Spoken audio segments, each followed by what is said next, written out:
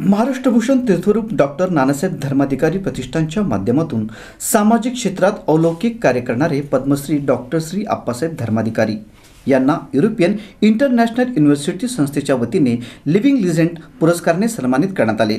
तर रायगडभूषण निरूपणकार डॉक्टर सचिनदादा धर्माधिकारी यांना European international इन्स्टिट्यूटकडून मानाची डॉक्टरेट पदवी बहाल करण्यात आली आहे. त्याबद्दल तसेच रायगडभूषण आदरणीय डॉक्टर श्री सचिनदादा धर्माधिकारी यांच्या वाढदिवसानिमित्त भाजपचे उत्तर रायगड जिल्हा अध्यक्ष आमदार प्रशांत ठाकूर आणि आमदार महेश बलदी यांनी गुरुवारी रेवदंडा येथील निवासस्थानी सदिच्छा भेट घेऊन शुभेच्छा दिल्या.